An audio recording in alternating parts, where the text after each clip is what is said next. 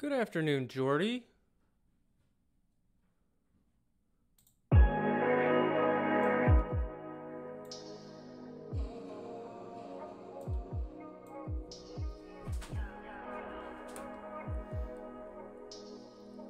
Oh, you finally caught up with the lectures to watch live again? Hey, glad to have you back. Glad to have you back.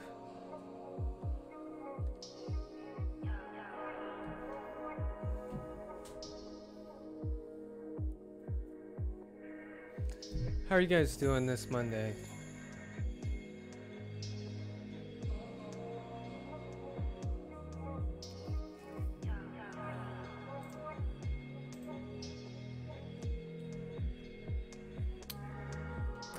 I'm a little tired.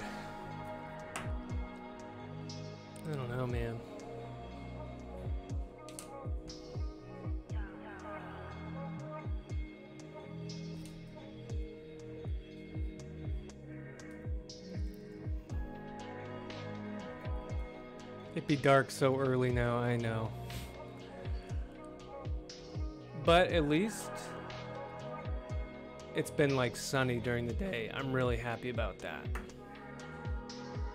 That makes a big difference for me if I can get some sun. But I hear you. It's getting it gets dark what at like 6? It's supposed to be 70 most of this week. Yeah, I don't know either, but I'm happy about that. I don't like that it gets dark at 5:30. I don't like it.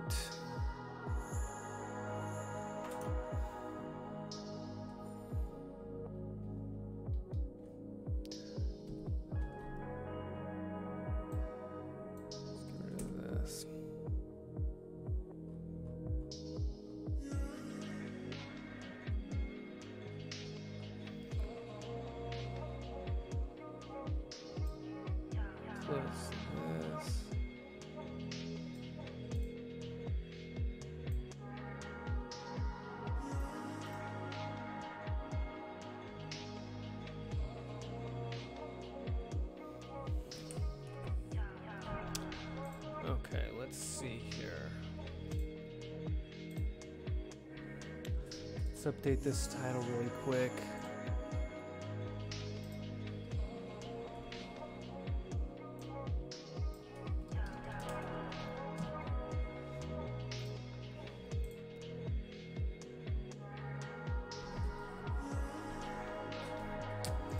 Okay, so today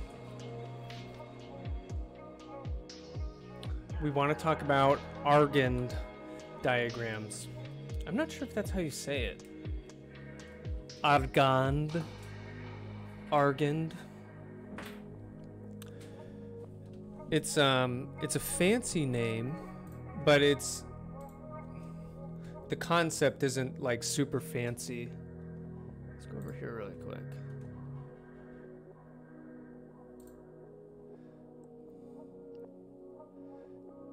Yeah, like an Argand diagram is just plotting something in the complex plane. So when we're talking about the Argand diagram for flight modes, we're going to show how um, it's kind of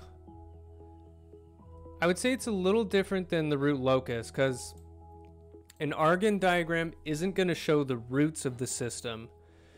It's going to show. How do I say this?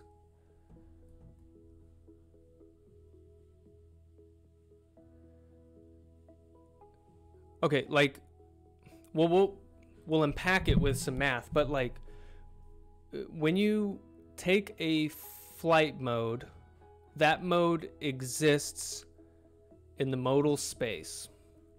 It's like an alien space. And then if we want to observe the mode in the physical space, we have to make this transformation back to physical space. From the alien space, we go back to physical space. And what's weird is when you go back into physical space, you're going to find that there's a real part of the mode and there's also an imaginary part. But the only part that we see in reality is the real part.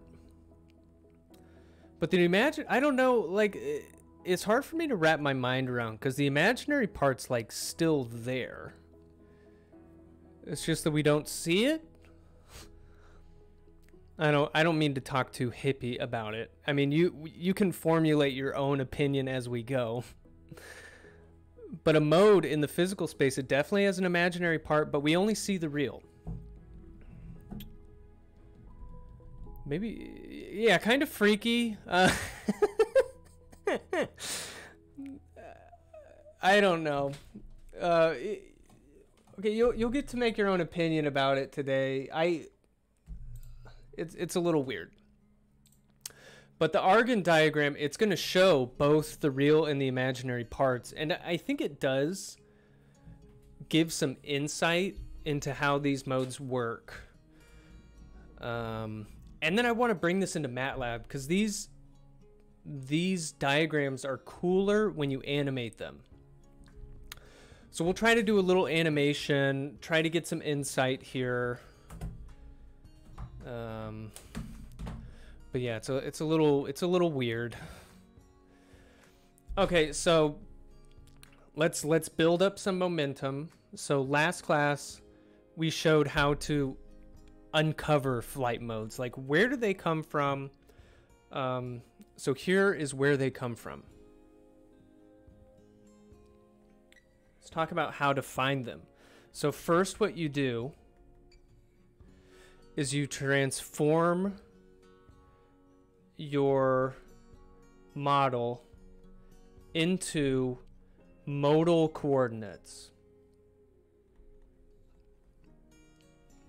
Like when we use Newton's laws to get a model for an aircraft, or it could be any physical system or electrical system, we do that modeling in physical coordinates. So you're going to have that model in physical coordinates. So transform it into modal coordinates. And uh, to get that transformation, it relies on the eigenvectors of your A matrix in your model. You'll get to see that again in a little bit. Okay, so once you get into modal coordinates, what do you do? Well, simulate the response of what are called the modal states. Simulate the response of each modal state. These are the states in the freaky alien modal space, but I mean, really, they are the most fundamental way of looking at the dynamics. So it's it's it's weird. Um, but that's what a mode is. It's it's one it's these modal states. So what does it mean for us in the physical world though? So you transform this modal response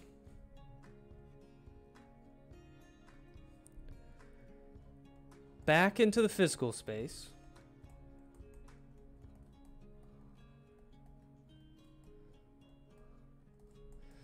to see what it looks like in real life. And I don't know why I put it in quotes. but yeah, you'll see when we make this transformation back into the physical space, there's an imaginary part that comes with it, but we don't see it. We only see the real part. but it's there. I don't know what it means. Okay, when transforming these modal responses back into physical coordinates, we find. So this is typical to find this. Different flight modes.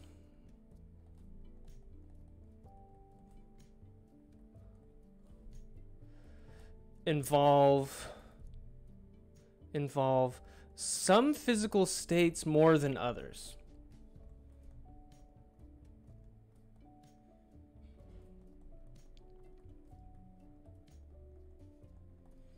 In other words, it, it might not use all of the parameters that you use to describe your physical model.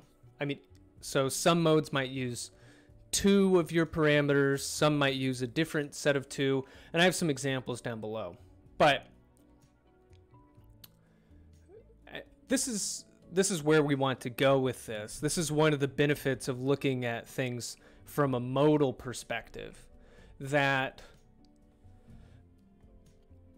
because modes generally participate I mean uh, depend on just a couple physical states we can create reduced order models that only involve the most important states. So, a reduced order model, like when we talk about longitudinal flight dynamics, we have a model for that that uses four states. But we, we made some reduced order models, right? One model we made for the phugoid mode that only uses two states. Another model we made for the short period mode that only uses two states. So we can actually break it into smaller models. Why do we want to break it into smaller models? It's easier to write con- or, or to develop control systems for lower order models. So I guess why would we want to reduce to make systems easier to control? Flight dynamics, in the end, it's a controls problem. And I think in the last couple weeks of this class, we're going to start to talk about control systems. All right. Normalization. So th this is just expanding a little bit more on this model reduction. So like I said, if you find a flight mode, it's probably just going to primarily involve a subset of some of your physical states. So like the phugoid mode, as I mentioned, um, it involves these two perturbation states, delta U and delta theta. Changes in longitudinal speed and your pitch angle. That's what the phugoid mainly depends on. Um, and the short period mainly depends on delta W and delta Q, where delta Q is your a perturbation in your pitch rate. And this delta W, it's like a velocity in the downward body frame, which is um, this mainly translates to changes in your angle of attack. So, so these are just examples of how modes involve a subset. Okay. So yeah, we don't we don't need to include all of our states to capture the general behavior of each mode. But this begs the question, okay? Like how did they know which states to keep? When you say involved, do you mean they depend on those perturbation states? That's what I mean, Dilly. That's what I mean. Yeah, great question. So I'm saying like the phugoid mainly depends on these states. The short period mainly depends on these. Okay, yeah. Yeah, we'll try to make this clear because it's it's about to get trippy, okay? Okay, so um yeah, today we're we're gonna talk about Argand plots and these uh, plots, they're a tool to help us make this decision of if I want to make a reduced order model for a flight mode, which states do I keep in my model? Which states do I throw out? So let, let's talk about these. And as a case study, we're going to look at the lateral flight dynamics. Because I still haven't given you... Uh, th there are some reduced order models for the lateral flight modes, which I haven't given you yet. So I want to kind of introduce the Argand plots, and um, I, I think next class I'll finally show you what these models are. Okay, so um, okay. So we're gonna we're gonna look at the 747. Okay, so for the lateral dynamics, we're to have this model, a state space model, and this is in physical coordinates. This is this is just your standard linear state space model. And last class we converted these to modal coordinates. So we're just kind of taking the steps to uncover flight modes. You got to go into the modal space, so you have to do this transformation. You use this P matrix to bring us into a space where the dynamics depend on modal states. And this new matrix right here, we call A sub M. It's like your modal A matrix and it's it's diagonal. So P, we call this our modal transformation matrix. It's composed column-wise of the eigenvectors of A. So we'll say P is V1, V2, and let's, so th this is a fourth dimensional model, the lateral dynamics. So there's going to be four eigenvectors, and you just stack them side by side like columns, and that's your that's your transformation matrix. And we went into MATLAB, and and we got this P matrix, we got this modal A matrix, and I'm just going to give them down here. So to do that in MATLAB, you use the eig command. You give your original A matrix, which I called A747 lat. I use the eig command. That gives you your transformation matrix and your modal A matrix. And here I just pointed out that the first column is the first eigenvector. So that's what you're looking at here. You're looking at the eigenvectors stacked side by side. And then A modal is a diagonal matrix where the diagonal entries are your eigenvalues. All right. So the next thing I want to show you, you probably haven't seen this before. We're going to talk about how to solve a matrix differential equation. So um, once we're given our model in the modal space, you can get an analytical solution. What what does analytical mean? It means uh, an equation that you can write down, uh, which is different than a numerical solution. Numerical would be I simulate in MATLAB using ODE 45 or like Euler forward or something and it just kind of figures it out. The computer does it, but I don't have an actual equation. So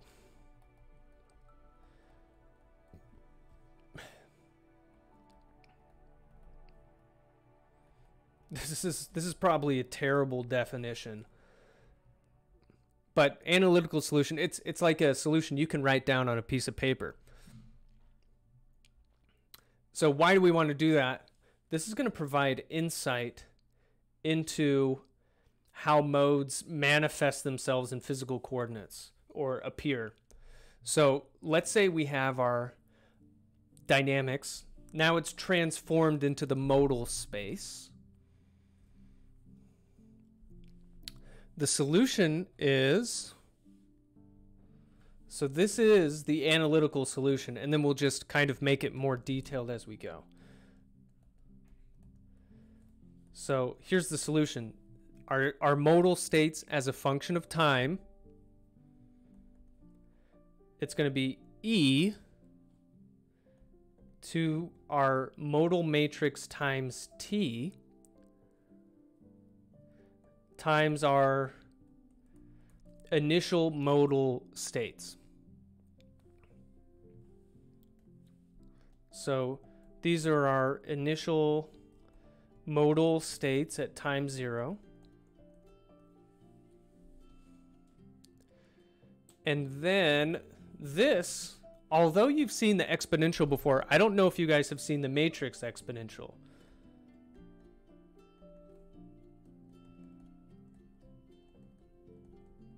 Which it, it is different than an exponential.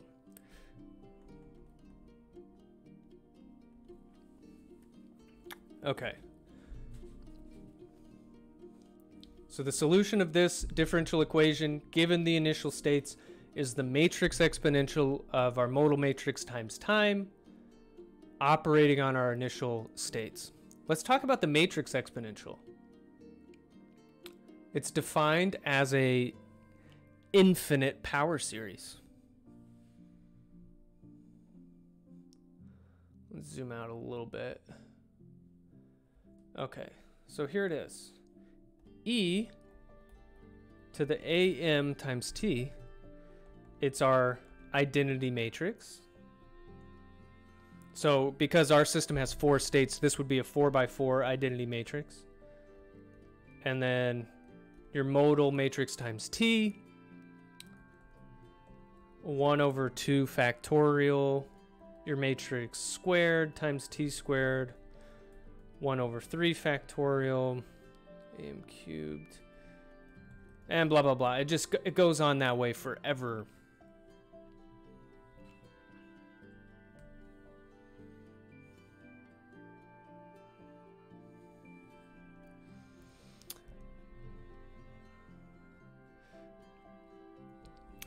All right. Now this is interesting. AM, our A matrix in the modal space, it's diagonal. So it actually makes the, the matrix exponential much easier to calculate. So like consider the various powers of AM because we're going to have like AM squared, AM cubed. Well, AM is, I'm just going to do a fourth order one because that's, that's what we have here. Zero, zero.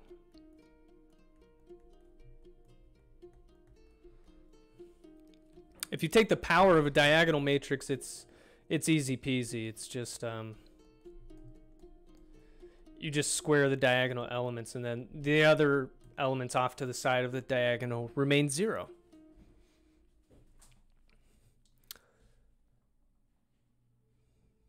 If it wasn't diagonal, wow, it would be a it would be a huge pain. Okay, so let's write out what the matrix exponential is.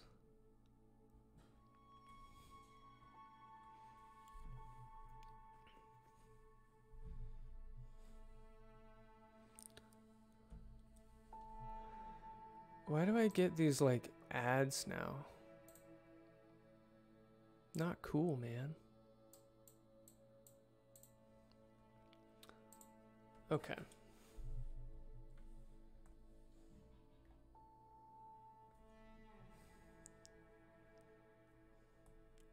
Just gonna like make a big matrix here. So I'm going to use this definition here. So the first element of the diagonal, it's going to be 1 from the identity matrix. And then I'm going to add, you know, AM times T. And at this top left element, that's just lambda 1 times T. And then when I add like the squared matrix, it'll be lambda 2 squared T squared. And this just goes on and on um, infinitely.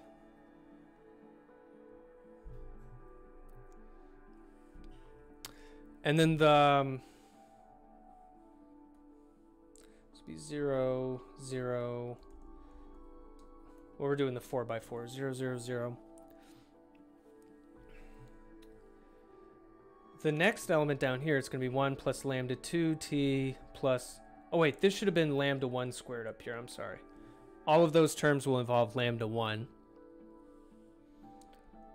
But now that I have this 2, 2 element, it's going to involve lambda 2, 0, 0. And then we're going to get down to this element in the in the corner here.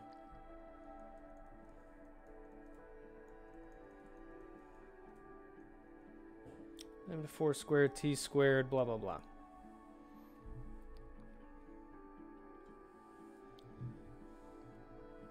Now, each of these what about the what about the factorials? Excellent point. Excellent point. That's why I need you guys. So this should be two. Two. That should be two. Thank you very much. Okay. This, if you look at just a regular exponential, that would be uh, the definition of just e to the scalar lambda 1 times t. And this one is e to the lambda 2 times t and so on. And so we if we have the matrix exponential of this um, modal A matrix, I'm going to write the 4 by 1 4 by 4 one here. It's going to be diagonal and its diagonal elements are going to be e to the different eigenvalues and then all of the off diagonal elements are 0.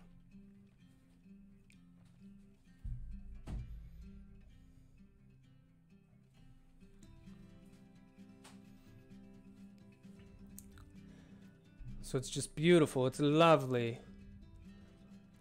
And then now we're going to have a more detailed expression for the homogeneous solution in the modal space. Because, um, so this is the homogeneous solution. Delta Z is the matrix exponential times the initial conditions. So let's just write that all um, kind of expanded. So this is delta z t.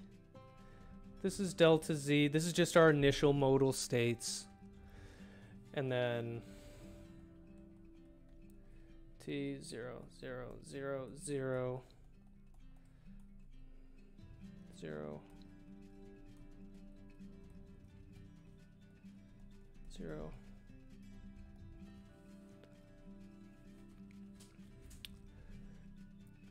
Okay. So let's say I want to look at the dynamics of the first modal state in isolation.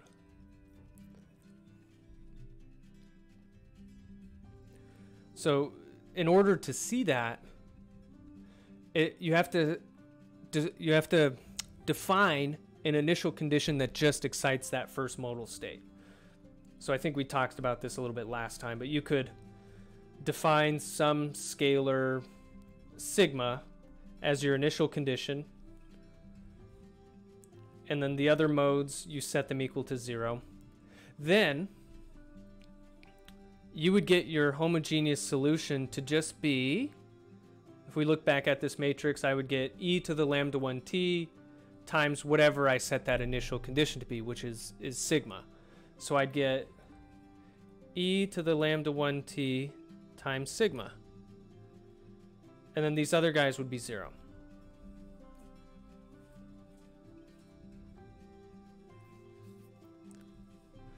So, um, okay, so we so we have that. That's the solution of that first mode in modal coordinates. But now we want to bring it back into physical. And here you will eventually see that we bring back some imaginary stuff with us. It sounds like an alien movie where you go into some alien space. And then when you come back to Earth, oh no, we brought we brought something with us. Oh dear. Okay, so we have our solution in the modal coordinates.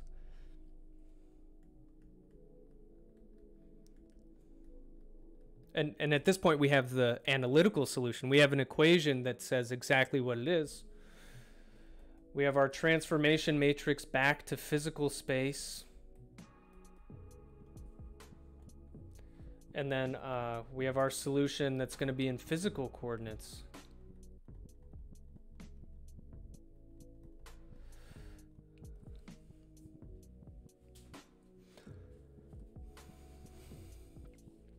Okay. So, okay. This P matrix, once again, just to remind you, it's our eigenvectors stacked side by side. That's all it is. And then let's substitute in this matrix that we just solved for. If we just did the first mode, uh, it'll be sigma times e to the first eigenvalue times t. And then 0, 0, 0.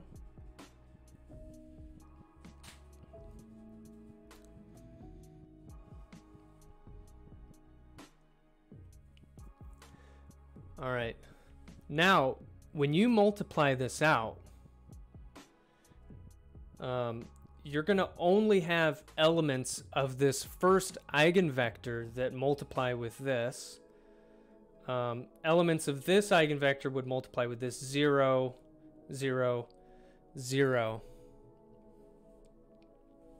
So if, if you were to expand this out, you would get sigma times our first eigenvector e to the lambda 1t. And for the other ones, 0 times v2 and, and so on. I mean, if we had more, if we were to excite more than one mode at once, then, you know, it would look something like this.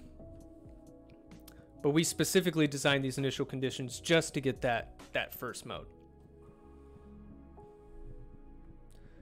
Okay, so this, this first term, this is the analytical solution for what this first mode is going to look like in the physical space. So now I want to make this more concrete. Let's use some numbers. Let's let's plug in some numbers. So um, we're going to use some actual numbers from the 747, assuming that, um, well, what we're going to do, to give more context, we're going to um, look at the Dutch roll mode. This corresponds to first modal state. It's our first modal state for how MATLAB did the eigenvector decomposition. Um, like maybe a different algorithm might have made it a second or third modal. It doesn't matter. Um, just for us, it happened to be the first one. So, so here we have, if we use this formula, sigma is out in front and it's equal to 1. And then this is our first eigenvector. That's what that is. And then we have e to the lambda 1 times t. So it's just that same formula up above, but we're plugging in numbers from the 747. All right. Oh, and this e to a complex number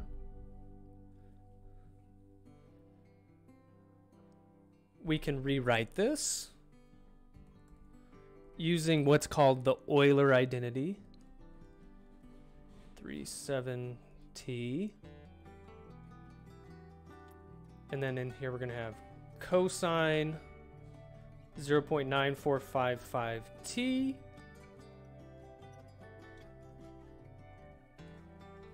And then within this bracket, we're going to have plus the imaginary number i times sine 0.9455t.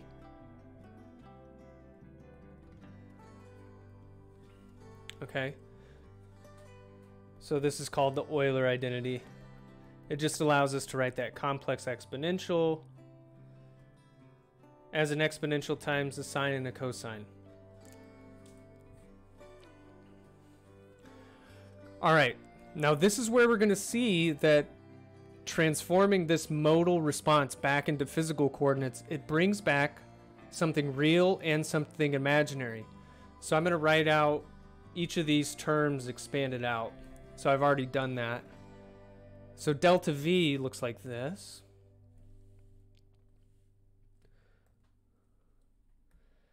This is the real part of delta V. Or uh, you could think of it as the Dutch roll mode. I don't know if projected is the right word, but whatever component. Okay, this is the imaginary part.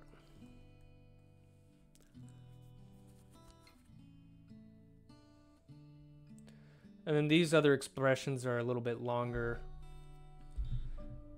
So P is our roll rate. We have the real part of delta P. And then on the second line, I have the imaginary part.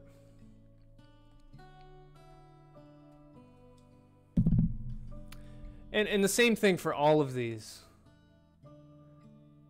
Delta V, delta P, delta R, and delta phi.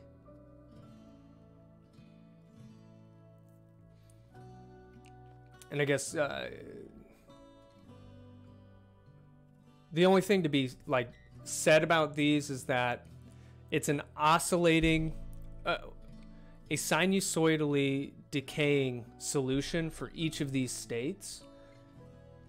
And it's got a real part and an imaginary part. Okay, so let's let's talk about this. Oops. So each perturbation variable has a real and imaginary part when we bring it back into physical coordinates. Now, the motion of the aircraft in real life, like what we see, corresponds to only the real part of each variable. All right? But this leads to the idea of an Argand diagram.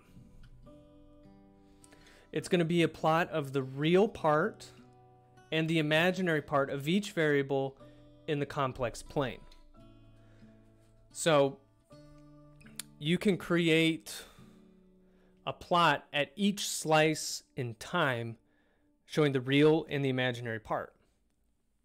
And that's why it's good to animate these plots Right. So next, I just wanted to remind myself to go to MATLAB because I want to make this plot. I want to animate it, and and we'll go from there. We'll go from there. So what we're gonna do, we're gonna plot the real and imaginary parts of these in the complex plane as a function of time. And uh, be careful. I mean, I don't know what's going to happen. I don't know if we're going to make it back with our sanity intact. We might not survive this.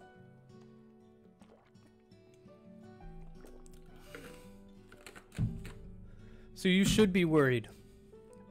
And you should definitely wear a mask and social distance as we make this journey. Okay. Standard stuff up here the weight. This is the... Wait, I switched these labels.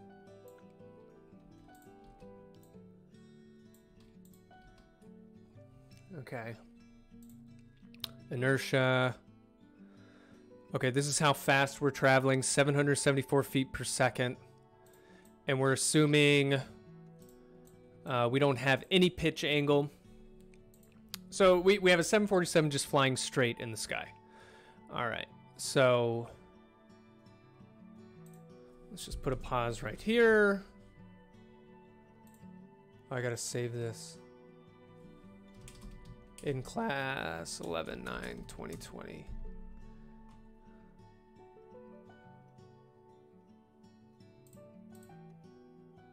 Oh, I think my VPN timed out.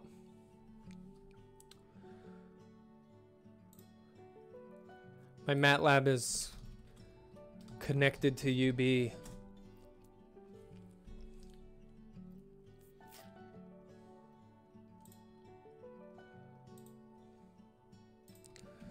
Oh, and then I gotta do like this duo thing.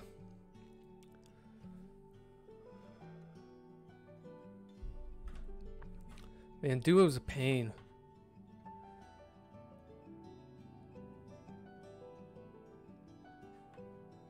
Okay, we should be okay now. Are you gonna run my code?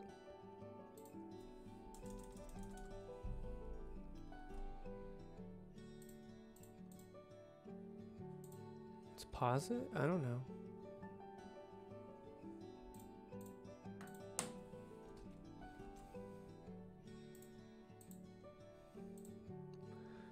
Just catching up.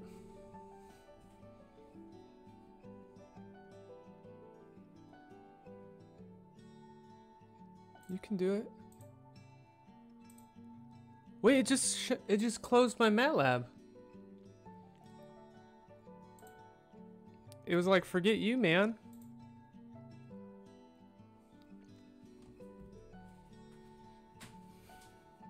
Attitude.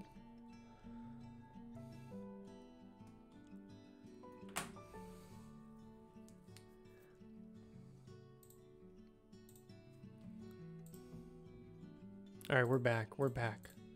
It'll work. Okay. So we got our modal A, we have our P matrix, we have our transformation matrix. All right. Good, good, good, good. What I want to do, let's uncomment this. I kind of made some code in advance, but my first eigenvector is the first column of the P matrix. This is my first eigenvalue. And then um, this is my settling time for that first one. What you do, like settling time is minus 4 over the real part of the root. So I made a time vector that goes up until the settling time. Um, and then this is the solution of that mode. Projected back into um, physical coordinates. So this is the same formula. Should be. Yeah, it's basically it's just like this formula. I just broke it down row by row. Okay. So we got this. So this is my solution in physical coordinates. And remember, this has a real part and it has an imaginary part. Let's do... Okay, I want to go back down here. Because I think I have some code in place to do like some animation. Okay. Good. Actually, I'm going to copy this. No, no, no. I, I want this. I want this. So, okay, what I have here on these lines, this is a for loop. And within this loop, what I'm plotting is... Actually, I kind of want to... I want to reduce this. I want to do something special.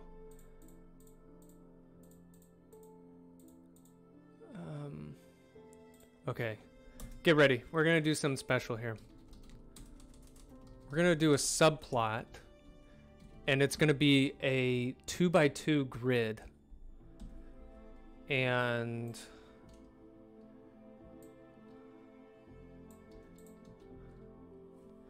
Each subplot is going to be the real part and the imaginary part plotted against each other for each component.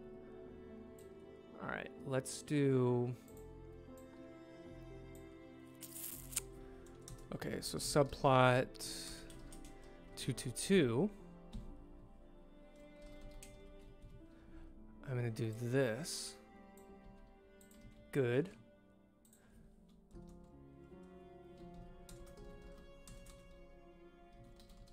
Subplot 223. If you haven't done these subplots before, two the first two numbers tell like the size. So this is going to be a 2 by 2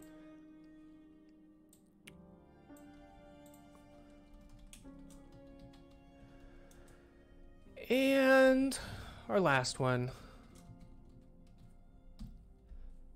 Plot. I want to grab this. Throw it in here. I want to comment this. Hmm. Let's no, let's not do that. I think if I run this right now, it'll look a little weird, but let's try it. I got an error. Oh, undefined variable t. Oh, that's because I think I called it t1.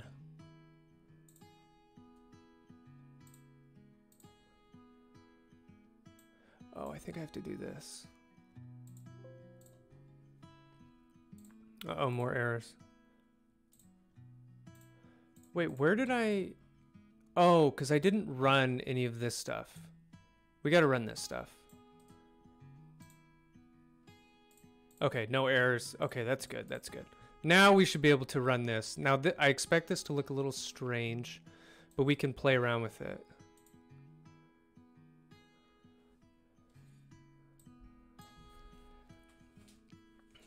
Okay, so what's making this look weird is the limits of the axes are always changing. And that is the problem. We got to fix the limit of the axes. So what I need to do, I need to uncomment this. And after each of these subplots, I have to put this command.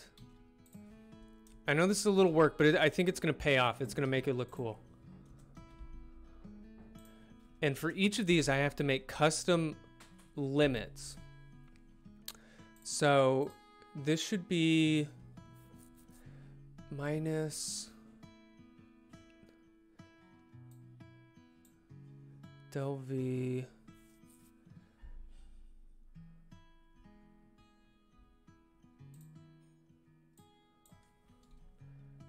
tabs del v 1. This takes the norm. So the when you plot this, let's go back here real quick. Let's plot this. Let's let's go back here really quick. Okay, so what we're doing, we're plotting each of these in the complex plane. It's got a real part, it's got an imaginary part. So let's talk about like delta V. We're going to plot delta V in this complex plane. And at the initial time,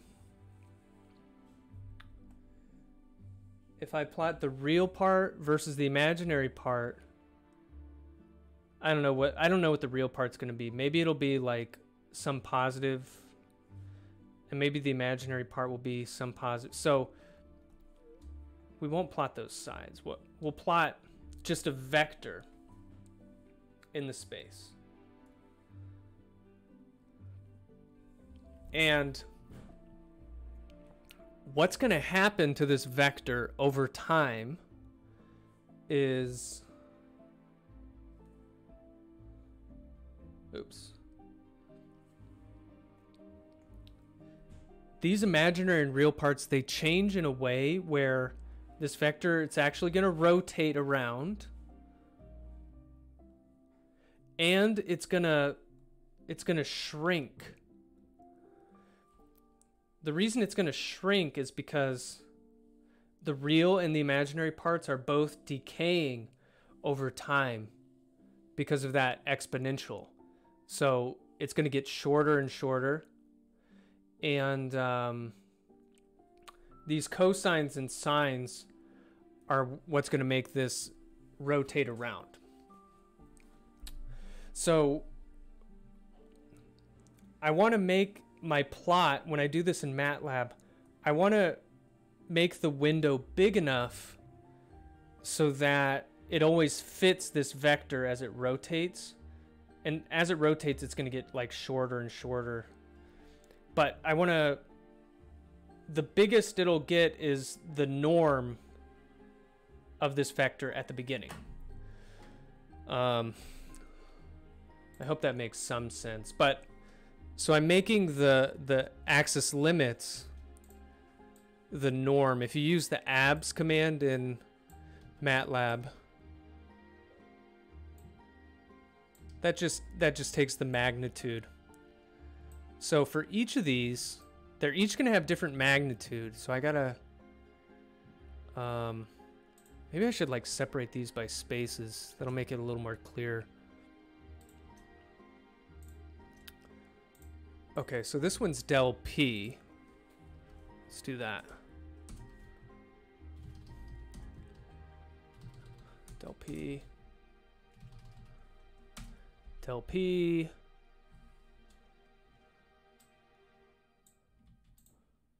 Oh, I want, um, this one's going to be the same thing, but del R. Del R. And then we're almost done. We're almost done. I think this is going to look cool. That's why we're doing it. There's a couple animations I want to make. Um, okay, so we got to get rid of this. Okay, let's try it again. Oh, ho, ho, ho, ho. Interesting, huh? So we have four Argand plots. Each of them is showing the real and imaginary part. This top left one should be delta V. Real versus imaginary over time. And they're all shrinking in size.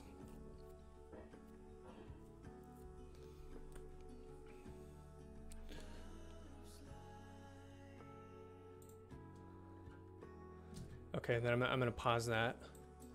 Um, what I want to do next, I want to take one of these and plot the eigenvector spinning around. But then I also want to plot the projection onto the real axis. And then I want to plot what the quantity looks like in the physical domain Alright, well, you'll see what I mean. Alright, I'm going to copy...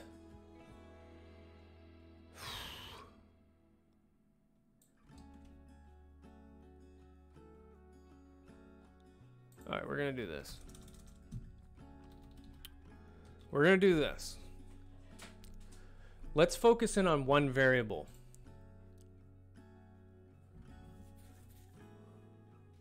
We'll look at delta V. Um, this time, we're just going to make two plots.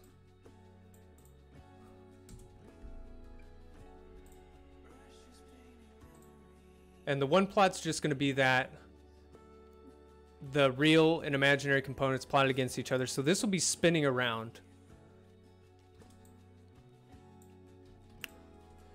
And then our second plot, I'm going to show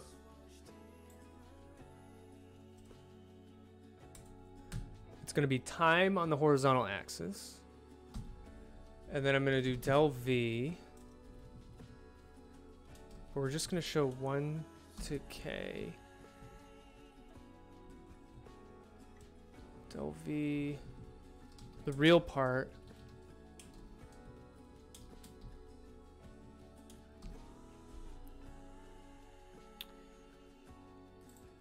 This doesn't have to be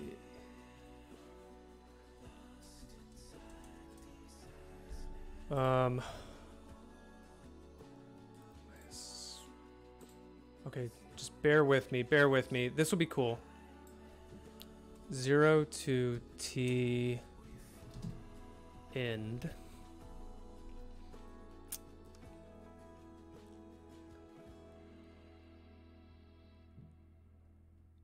I think that's fine.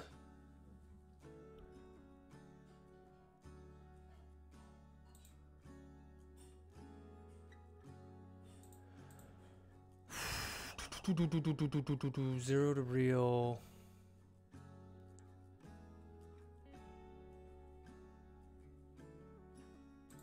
Okay, I'm gonna try this. Okay, we're almost there. We're almost there.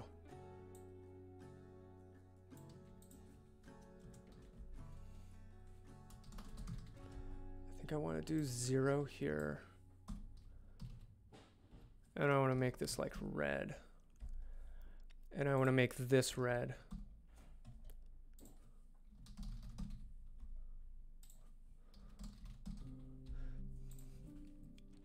Okay, then we'll, I'll suppress all of this.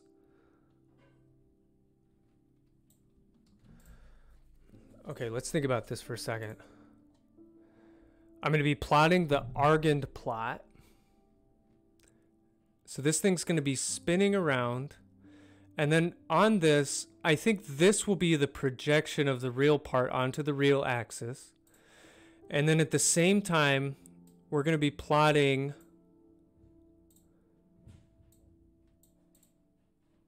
as a function of time how the real part is changing. Okay, please work. I think this will this will be nice.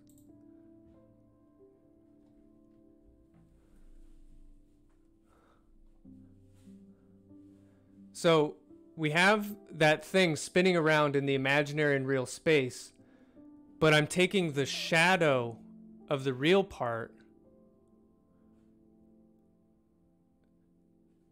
and that magnitude I'm plotting over here.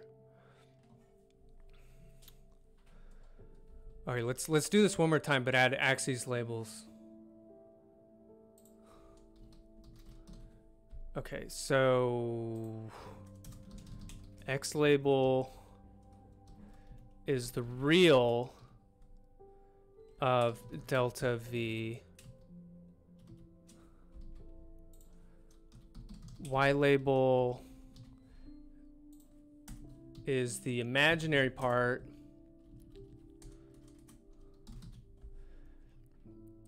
And then for this one, it's time and seconds. And Y label is the real part of delta V. Okay, I want to run this again.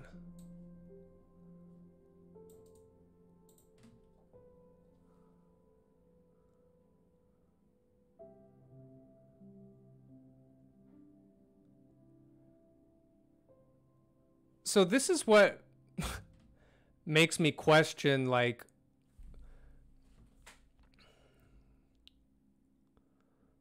I don't know. Like the imaginary part of this thing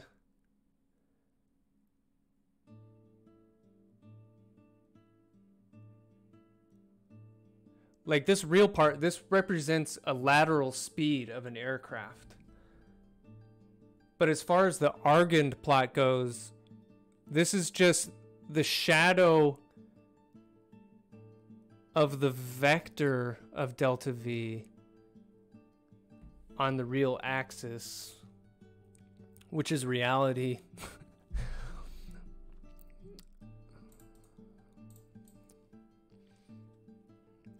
Sorry, we're, we're doing some hippie math today, so I just hope you're on board for that. Okay.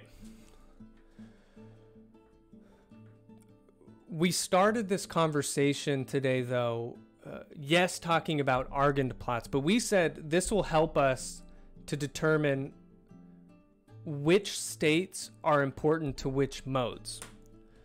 So, the way that they decide this is they look at the magnitude they take the Argand plots of everything and they look at the magnitude of those vectors in the complex plane because they're actually all um, different sizes.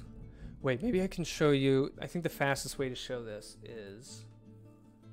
Um, hold on. I'll pull up the Nelson textbook.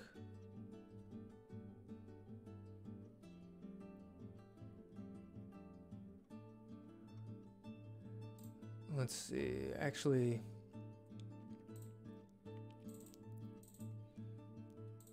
yeah. Okay, so this is in chapter 4. They actually use this hippie math, okay? So just just bear with me. Okay, th this is talking about the longitudinal modes. I know we were talking about lateral, but they apply these Argand plots. Okay. Here we go. Now you'll understand what this means, I think. Um, this is the Argand plot that they made for the the long period mode, which is also the the phugoid mode. And there's different variables like um, eh, they're showing each of these all in one plot. So we have the delta theta, that's one of the terms. This is its vector, which just happens to be on the real axis right now. But he's showing you with this arrow that this is rotating if you were to animate this over time. And you also have this delta U, like the change in speed. Now, um, there's, let's look at this one. This one's for the short period. And so it has this angle of attack one. It has delta theta again. And, and these are like spinning around. And they're telling you that the delta Q variable, which they multiplied by some other stuff to like normalize it, but delta Q is on this plot, but it's so short compared to these that it's not even visible. Um,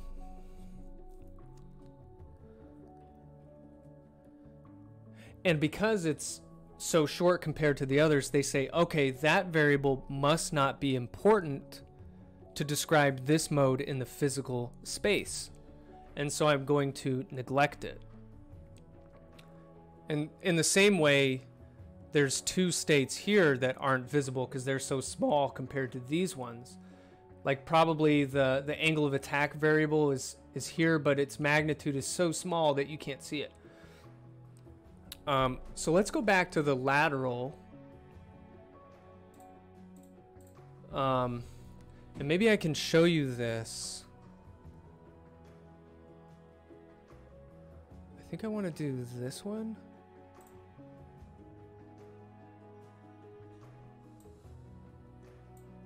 This to work?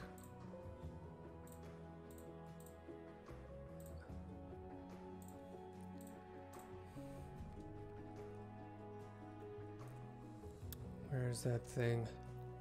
Okay, I think I need to run this.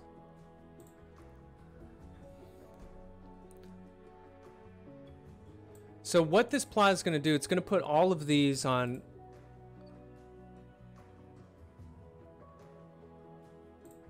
need to make a new one. Oh, you can see it.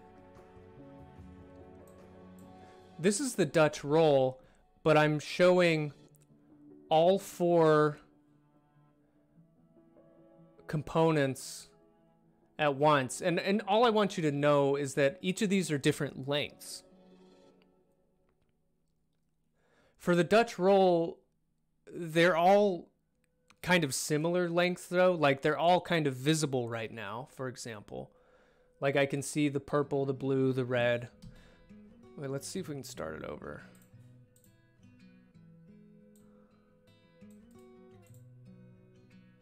So you see like the purple is way longer than the others at the beginning. And the yellow is barely visible. Yeah, you probably can't see this at all on your phone or even your computer, this might be hard to see.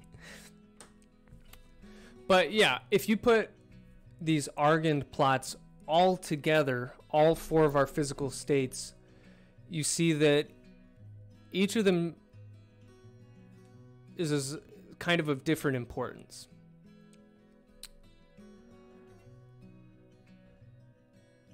Um,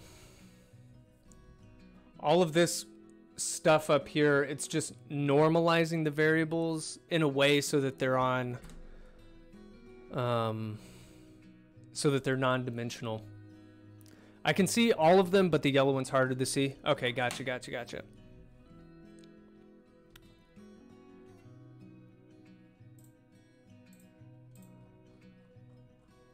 I want to do this one again. This one I thought was pretty cool.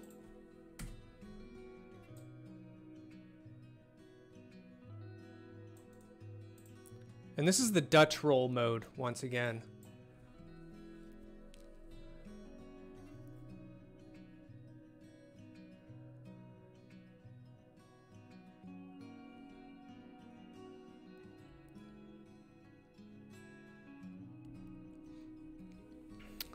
It's a different way of looking at dynamics.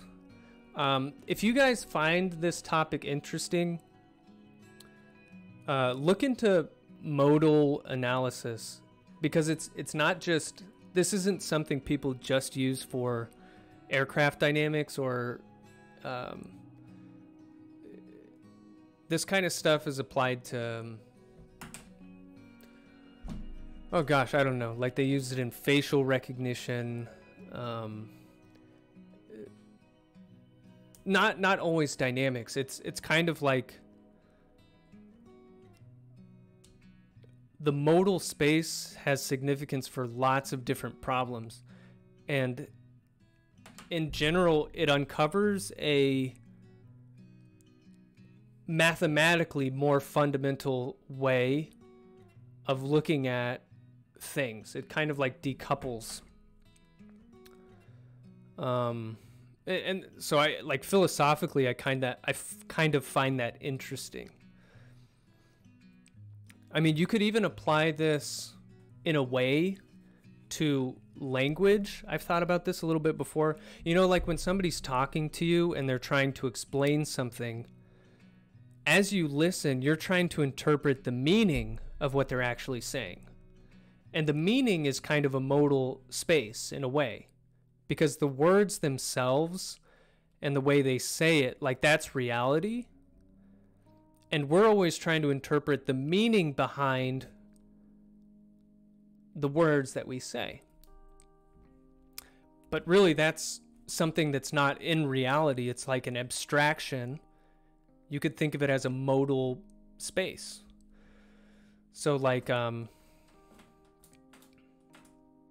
I don't know. It, it, it's kind of fascinating. Like right now, Siri and whatever uh, Alexa, they can do speech to words. Like I'll use that in class sometimes. Wait, is this thing on? Oh, this is this is weird. Do you see the text on the bottom of my screen? Sometimes there's like random words that pop up. So it's like someone else is using the feed.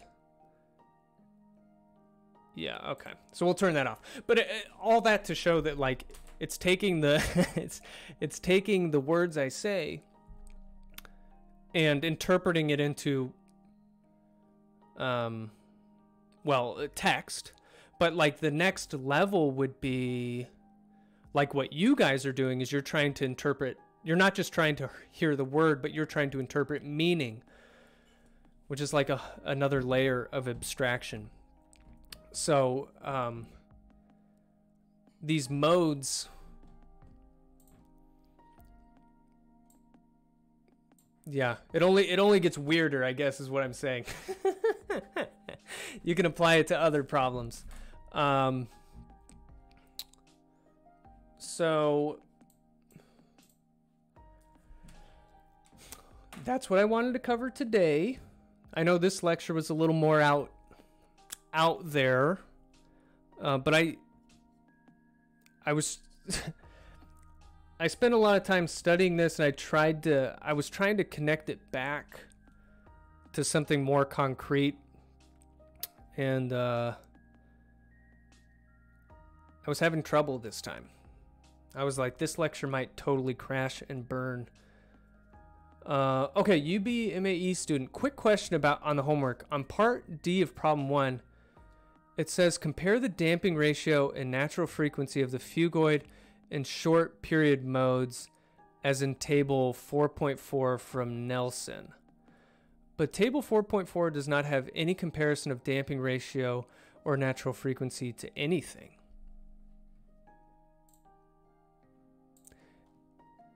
Interesting. Um, let's try to find table 4.4.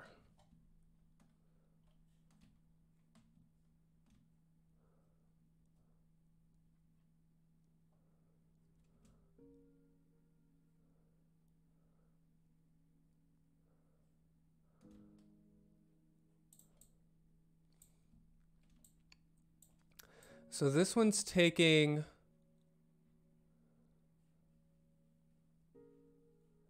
Right. It looks like this is looking at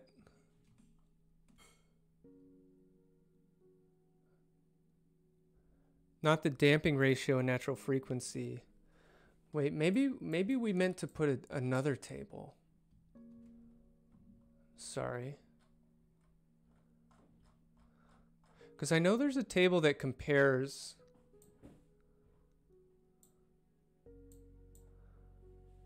Is it this one? No. Wait, I want to be able to scroll.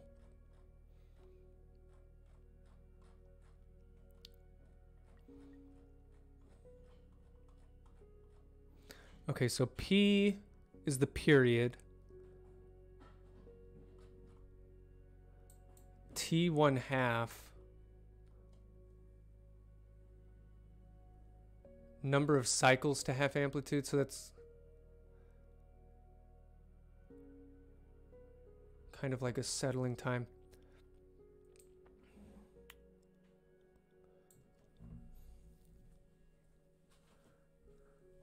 Okay, I think uh, all we're going for is when you this is talking about using a reduced order model and comparing it to the full model, right?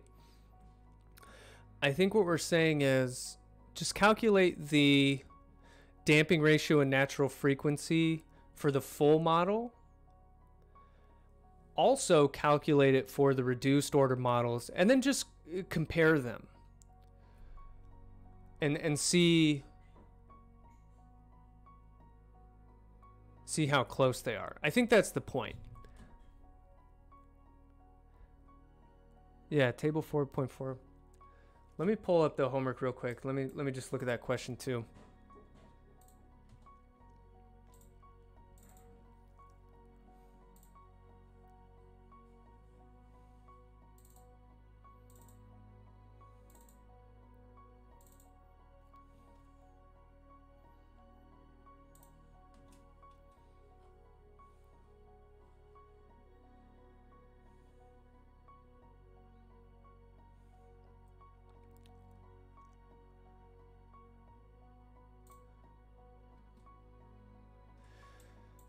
Yeah, just ignore ignore that if but based on what I said, I think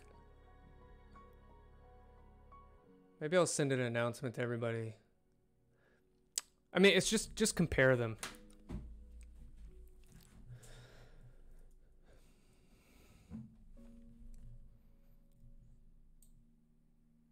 Yeah, ju- yeah, ju- just compare them. Sick. Yeah, yeah. I think that that's that's the point. It's just, it's kind of like what we did in. um Actually, I think we did that same thing in class. I think we did that exact same thing for the Boeing.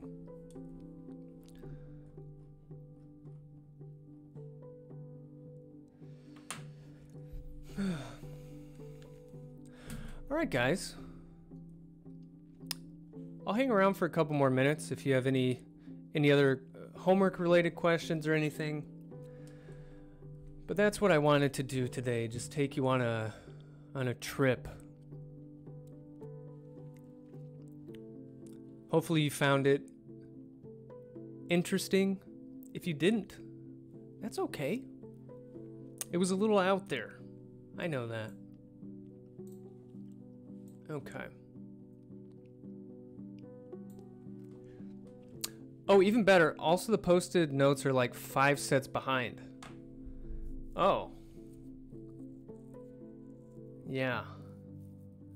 Okay. I need to post those. Yeah, I got a little behind on those. Let's see, where? Yeah. Yeah, yeah, yeah, yeah, yeah. I gotta, gotta throw those up there.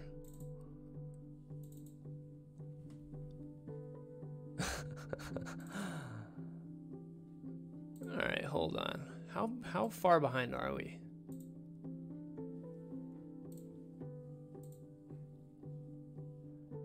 Stability derivatives.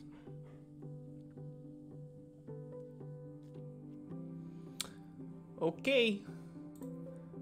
That's a couple behind. All right, I got. What am I doing? Good grief. Let's get these up here. Let's get them up there.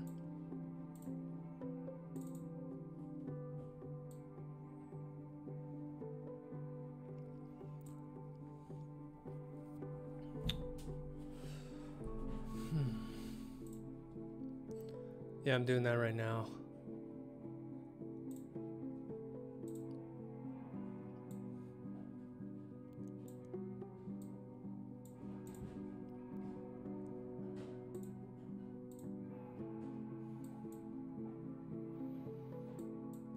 How are you guys feeling? You are you surviving this semester?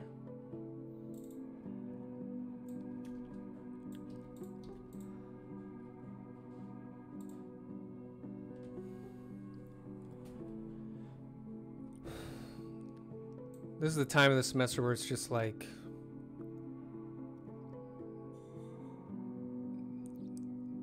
just feel tired, you know? Semester kind of slow. Oh, like the pace is slowing down a little bit? Workloads tend to vary greatly from week to week. Yeah.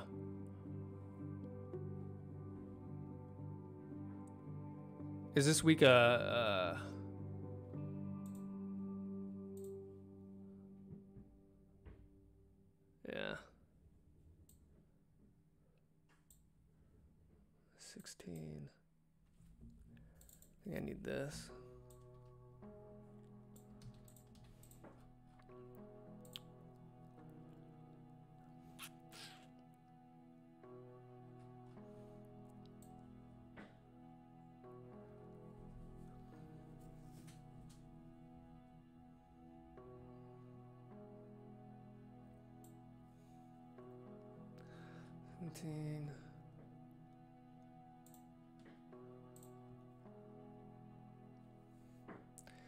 Feeling a bit overwhelmed every week, to be honest. Hey, that's all right. You are not the only one. You are not the only one, and that's okay.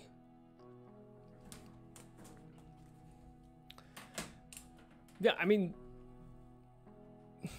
the semester is tough, even in usual situations, but at least you get more interaction with peers.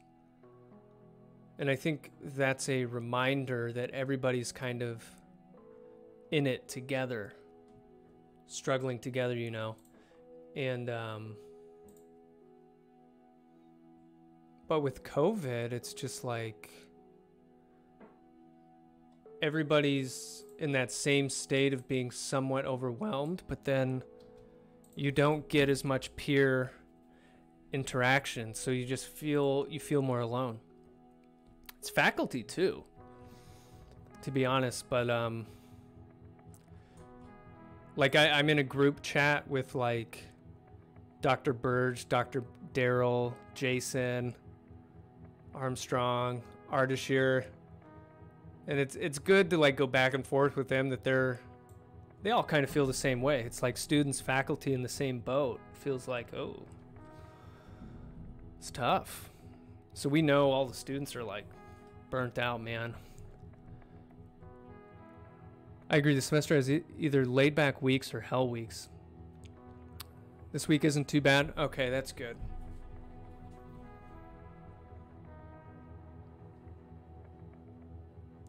Strong group group chat. it's a fun group chat. yeah, I think uh, it's a really fun group to work with. That's one of the bummers of um, we because usually we're we're all all our offices are right next to each other. I see people walking to in-person class and I get jealous. Yeah, I know. I know.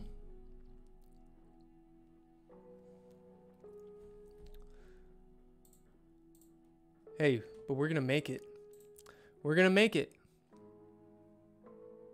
Hey, have a good evening, Jordy. See you. Have a good night, Dilly. Thank you guys.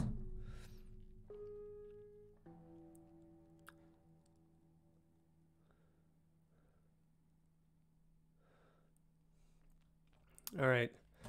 Everybody have a